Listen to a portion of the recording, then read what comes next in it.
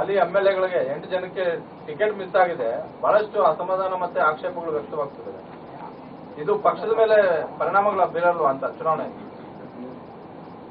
ಅಲ್ಲಿಯ ಸ್ಥಳೀಯರ ಅಭಿಪ್ರಾಯವನ್ನು ಕೇಳಿಕೊಂಡು ಅದರ ಆಧಾರದ ಮೇಲೆ ಕೇಂದ್ರ ಸಂಸದೀಯ ಮಂಡಳಿ ಅಭ್ಯರ್ಥಿಗಳನ್ನು ಘೋಷಣೆ ಮಾಡಿದೆ. ಎಲ್ಲಿ ಯಾರಿಗೆ ಸಿಕ್ಕಿಲ್ಲ ಅವ್ರಿಗೆ ಬೇಸರ ಇದೆ ಅವ್ರನ್ನ ವೈಯಕ್ತಿಕವಾಗಿ ಮಾತನಾಡ್ತಾ ಇದ್ದೇವೆ.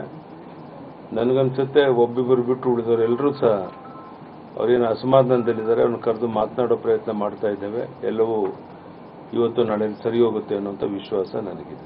ಸರ್ ಪ್ರಮುಖವಾಗಿ ಎರಡು ಹೆಸರು ಸರ್ ಒಂದು ಲಕ್ಷ್ಮಣ್ ಸೌದಿ ಮತ್ತೊಂದು ಜಗದೀಶ್ ಶೆಟ್ಟರ್ ಸರ್. ಜಗದೀಶ್ ಶೆಟ್ಟರ್ ಈಗಾಗಲೇ ಡೆಲ್ಲಿಗೆ ಹೋಗಿದ್ದಾರೆ ಬಟ್ ಲಕ್ಷ್ಮಣ್ ಸೌದಿ ಅವರು ನಾಳೆ ರಾಜೀನಾಮೆನ ನೀಡ್ತೀನಿ ಅಂತ ಹೇಳಿದ್ದಾರೆ. ಜಗದೀಶ್ ಶೆಟ್ಟರು ಡೆಲ್ಲಿಗೆ ಹೋಗಿದ್ದಾರೆ.